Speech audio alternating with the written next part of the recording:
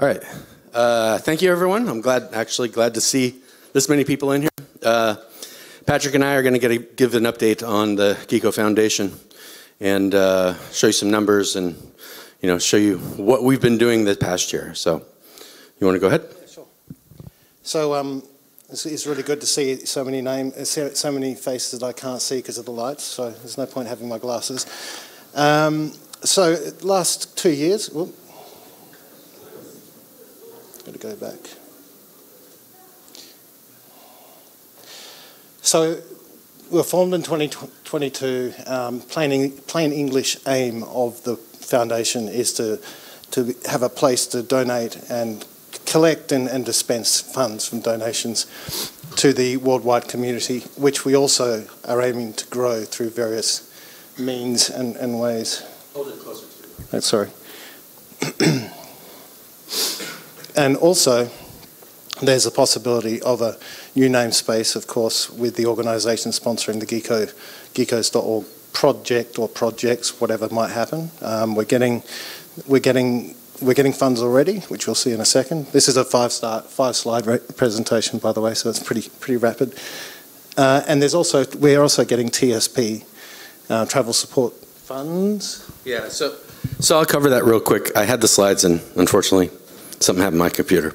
Uh, but but the numbers overall are pretty good, at least for uh, this this particular event. We were looking at pending. Uh, it was about ten thousand dollars that were going toward the TSP for people to come here. Since then, that actually has not. Um, it has not. We won't spend that much because not everyone got visas and things of that nature. So the funds kind of still sit there, but at least they're there and they're going for a good cause, and we're getting people to two events, which is kind of a partial pur purpose to that. Um, and then if you look at uh, the Google Summer of Code, uh, it allowed us to actually take in funds from the Google Summer of Code and send some mentors to uh, the summit that Google puts on. So, but overall, basic numbers I could give you down uh, as far as the current account. I mean, it's it's uh, well, it's based in three currencies, and so I think it's well. You have the he'll show you the numbers of like what was brought in, but I think we're somewhere around ten or sorry, we were about eighteen thousand dollars, twenty thousand dollars, and at the end of this, it'll probably be more like twelve. But we're waiting on more to come in, and there is constantly funds coming in based on uh, various streams of, uh, shall we say, um, people buying swag and things like that.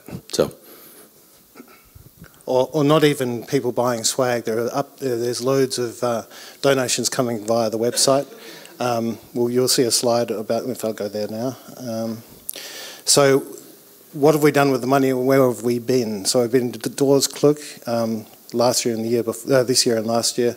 We're going to Scale, uh, FOSDEM, all, all these places. Sometimes we've been holding, having a, a stand where we've had a, a, a card machine where we've taken donations um, and others we've just made, been, a, been there as a present, presence.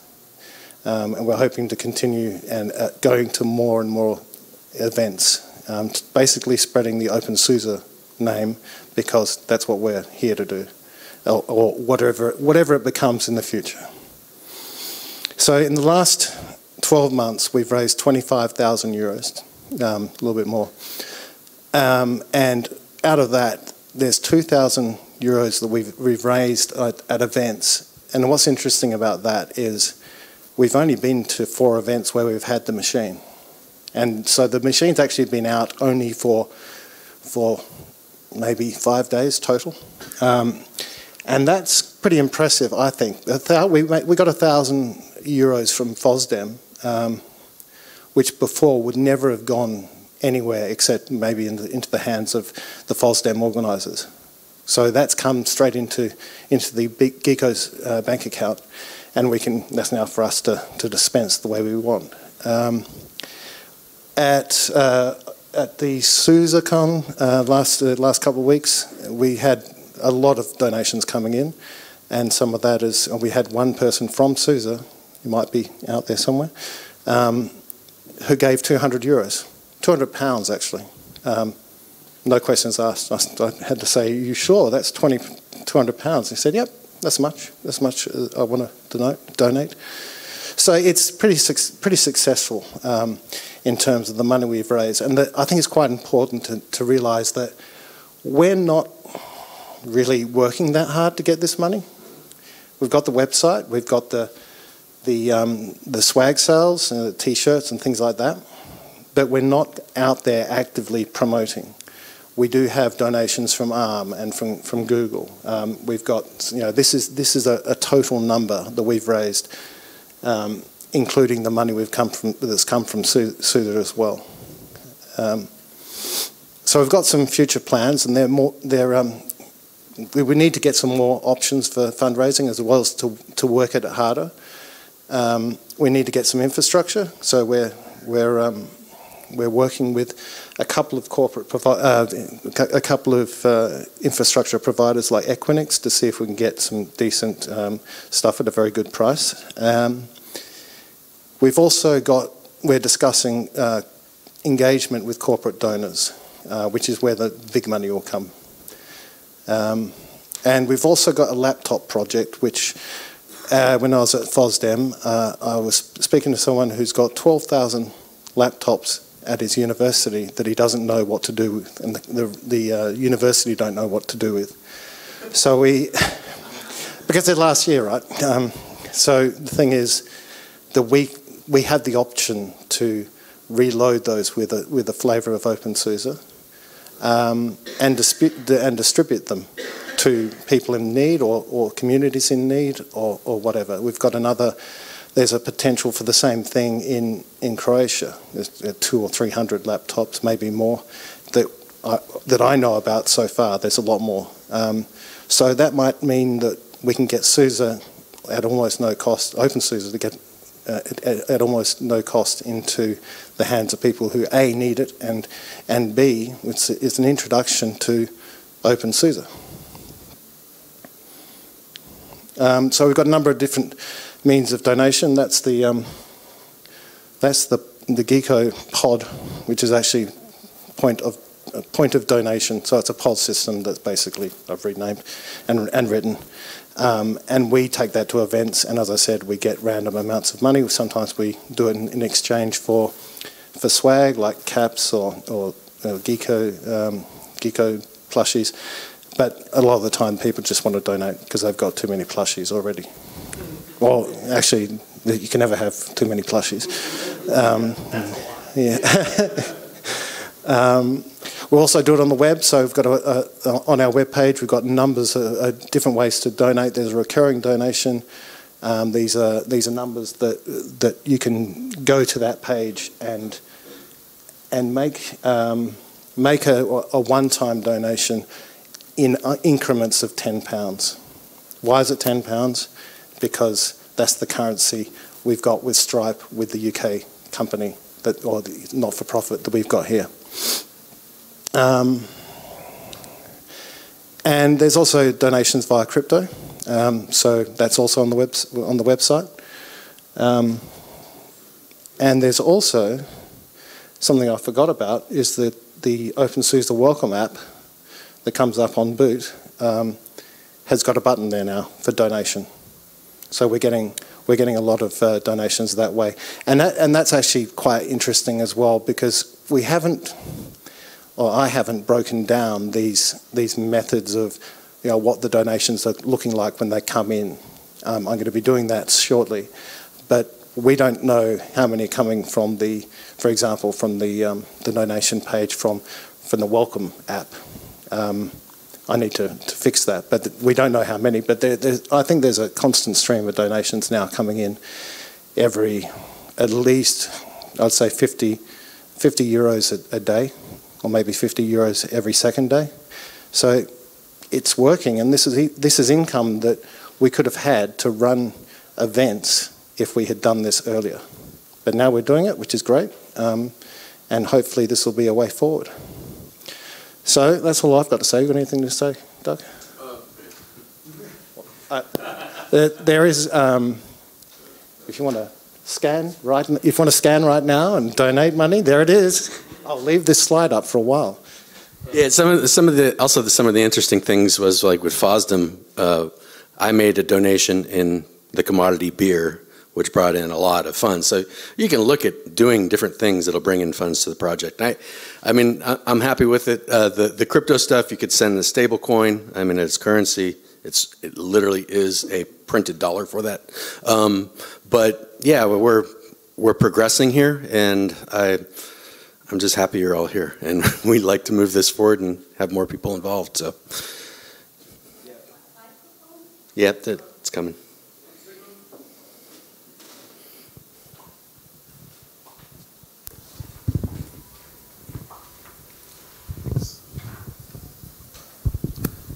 How can uh, uh, companies and other people donate a higher amount of money? Until now, only until 10 pounds, or with this can to donate, that is also restricted. How can companies sponsor Open Source via the Geeko Foundation?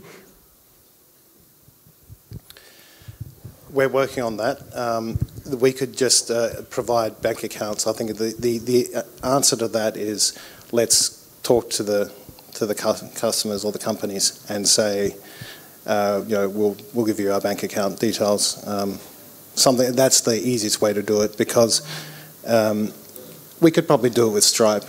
And we're working on it right now. If, if anyone's got any any ideas, then let's talk about it. I mean, sponsorship programs within Yeah, there's, I mean, for example, um,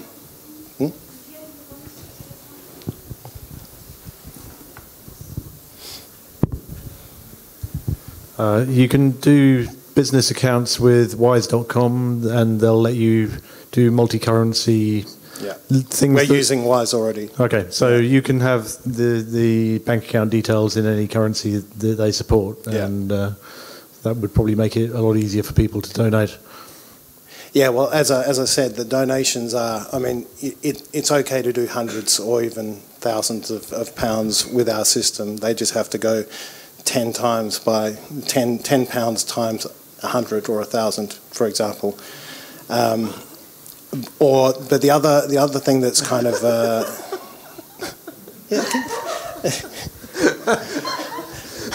wasn't meant to be a joke either.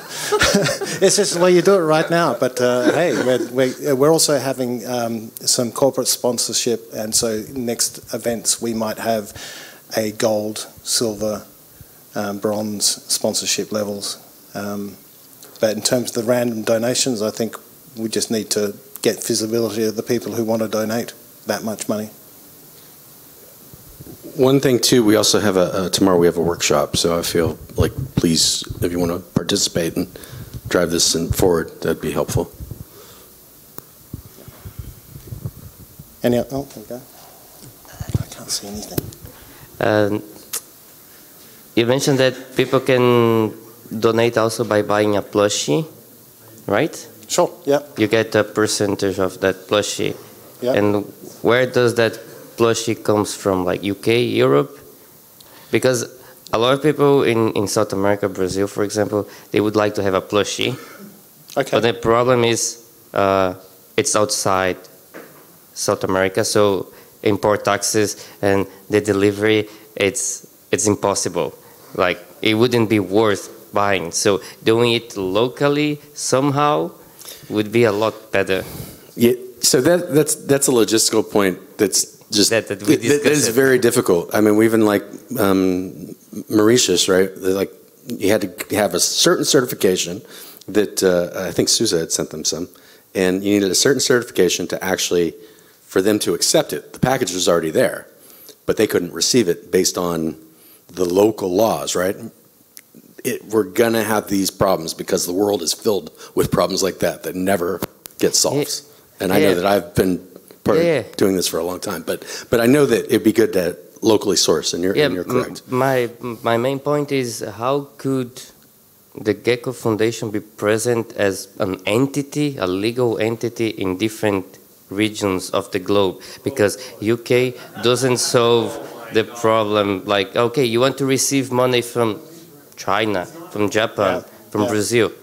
Yeah. It's it's a, a foreign currency. Yeah. It like if a company from Brazil wants to donate, it's like not Well, out of the if- question, if- but they need to go and huge leap. Like they really need to be willing because it's going to add taxes and and all sorts of legal issues. So if you have a local entity, Then we're then we're struck with other problems, which Yes. is how many how many entities do we have?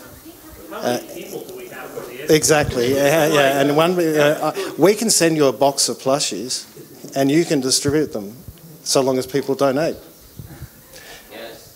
Oh. What, a box? Uh, Yeah, I don't think I should have either.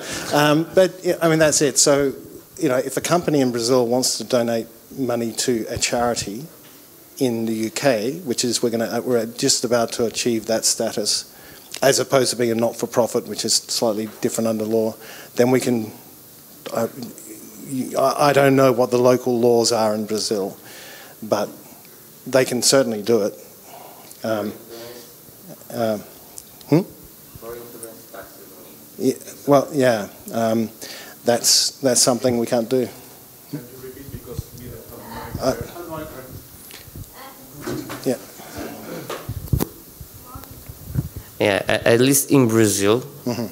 uh, any currency that is not a currency in Brazil, there is taxes on top of it. So So you send money to a a foreign if you country. use if you use Wise, Wise is doing the conversion, Mhm. and Wise is, is taking something, and Wise is technically paying that taxes on it. but what kind of tax are we talking about in percentage Uh, in, terms? in Brazil, it's called IOF. how, how much? Uh, What's the percentage? It's 30%. no, no, no. For foreign currency, Yeah, I think it's yeah. 80, No. eight, eight, eight, eight, eight. I think 80, Eight. 8 or 85. So, so that's so that's 8.5. that really is something that we that we'll just we'd have to wear that and just accept a lower Yeah. donation, but the donation is there, which is what makes it important. You know, for example, speaking of logistics, Brexit just made it uh, has a- made it a lot worse for the UK. Um, Yes. There's all sorts of different things, and you just have to pay the pa- pay the taxes, and Yeah. and, and just let's let's Yeah. just get more money in. Yeah, but the main one of the main things is how to get uh, the plushie into Brazil because a lot of people want. We can give you one. We'll just give you the plushie right now. Yeah, but, but Or I can get the, the, the card machine out. and You can you can donate for it. Right now. Yeah. Right, for, for Debian, we have, but Debian doesn't exist, right? So we can't hold money. Uh, but in America, we have software in the public interest, which is uh, 503, whatever, Yeah. uh, um, non-profit. And in France, we have a foundation that's non-profit. And I think we've got we've got something in Japan, and we've got maybe something in South America. Yeah. And we generally hold the money in the place it was donated, so Yeah. it doesn't have to cross borders. Yeah. Uh, if you wanted to do something in the States, I'm sure that, uh, well, it's going to be a problem if you become a company, but um, they would happily hold money on your behalf in SPI, and you get, they tax you 5% for running costs. Mhm. Uh, because you know they have to pay the uh, the accountants and stuff, Yeah. but you you could just ask them and become a member of SPI. Uh, uh, and who are they in this context? Uh, soft, software in the public interest. In, Okay. in uh, so because Debian doesn't have a proper legal existence, Yeah. uh, we have places that you can, you know, contract to have some servers with, and they're a Sure. non-profit uh, organisation. Sure. I don't know whether our treasurers in France would be happy to accept funds on behalf of someone else. They might be. Because I don't know what the structure of their organisation is. Yeah. well, we're we're setting up something in in the eurozone anyway. Yeah, but if they're sitting there dealing with money for a, a mad, uh, non-existent free software project anyway, I, I think it's they might go for it. They've got Okay. they've got escrow accounts already, Okay. so it's probably worth contacting. Well, you can talk to me, Yeah. but SPI uh, might fit your bill in the states at least. Yep. the- Well, let, let's And, talk and after. as for SPI, if you're transferring the money to another non-profit in a different region, that's fine. But then they're not going to be able to send you money to your limited company. Sure. Well, let's talk about it after. Yeah. Yeah. Sorry, I was, yeah, I I was just obstructing the uh, barcode. Uh, can you fix kerning on the donate button on the thing? I told you it was a presentation put together in a hurry.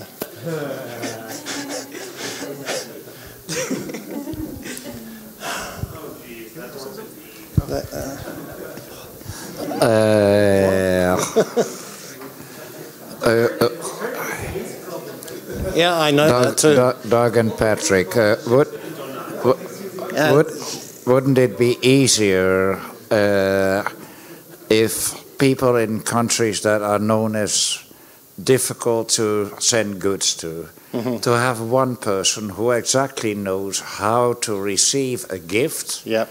and rece- refund it, and then uh, charge people a small amount of money for uh, for uh, for their uh, their part in it. Yeah, no, sure. And that would mean that they, yes, the people in, for example, Turkey would pay a couple of euros more than they would pay in Europe, but they would get rid of the whole thing and they could send them through locally.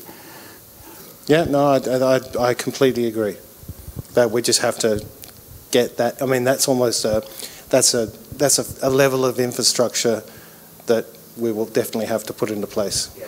having a foundation. Having a foundation in every single country that needs a separate foundation, that's basically going to be impossible. Look at charities like uh, the Red Cross, uh, uh, Child, Child Aid, Yeah. etc. So, so my answer to that is we, we're probably, I, I think the way forward is to have one in each, each region. So there'll be a, an, an Asian um, entity and an American entity, um, and they will, they'll, they'll do all the, their own sourcing. But that's, that's a little bit off, off, far off from now, yeah. But, but you never know. It might be done in, in, in the next 12 months if we get enough donations. That, that's it. It's, we, we can't do it. We're not taking any money from this. We've all got another. We've all got another job, or in my case, about five. Um, so, you know, if we can, if we can get enough people in to do stuff, then you know, get. We, we'll, we're happy to accept help. Is the number one question statement. Any other questions?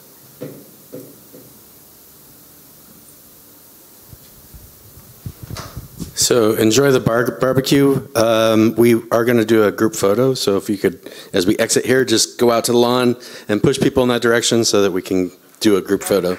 And join the workshop tomorrow if you want. Wait, no one's allowed to leave unless they've donated. Didn't, it, wasn't that made clear?